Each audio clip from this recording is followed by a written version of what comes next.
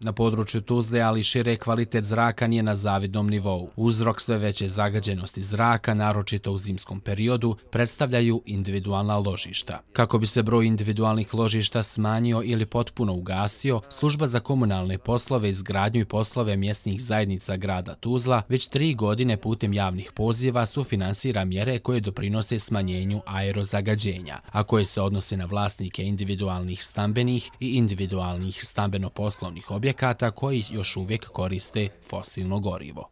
Namjera jeste da se sa e, do 50% e, ukupnih potrebnih sredstava, a limitima e, odgovarajućim zavisno od vrste mjera, zapravo na što je moguće brži način smanji što veći broj individualnih ložišta na fosilna goriva, a time smanji zapravo zagađenje zraka.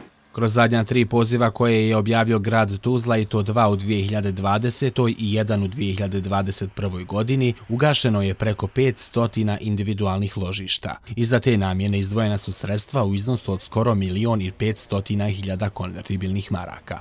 Za prvi javni poziv u ovoj godini bit će izdvojeno oko 1.390.000 konvertibilnih maraka. Sufinansira se nabavka i ugradnja toplotnih pumpi, utopljavanje objekata, nabavka i ugradnja kompaktnih toplinskih podstanica i nabavka i ugradnja kotlova sa isključivim pogonom na drvnu biomasu, odnosno peći na pelet.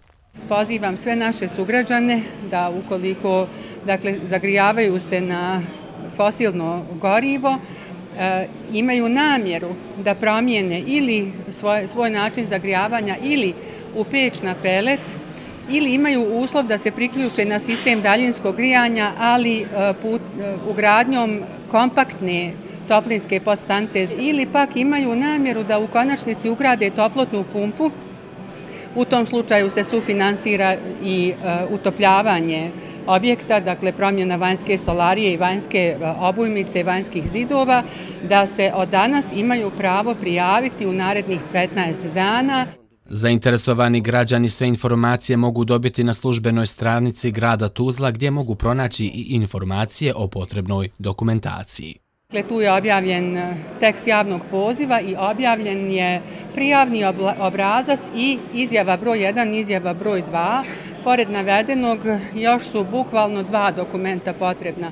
Ili posjedovni list ili zemljišno-knjižni izvadak i CIPS, dakle kao dokaz E, da e, zaista se u tom objektu boravi. Iz gradske službe napominju da svi potrebni dokumenti ne smiju biti stariji od šest mjeseci i da ukoliko postoje bilo kakve nedoumice oko načina prijavljivanja na javni poziv, da sve informacije mogu dobiti pozivom na broj 035 307 340.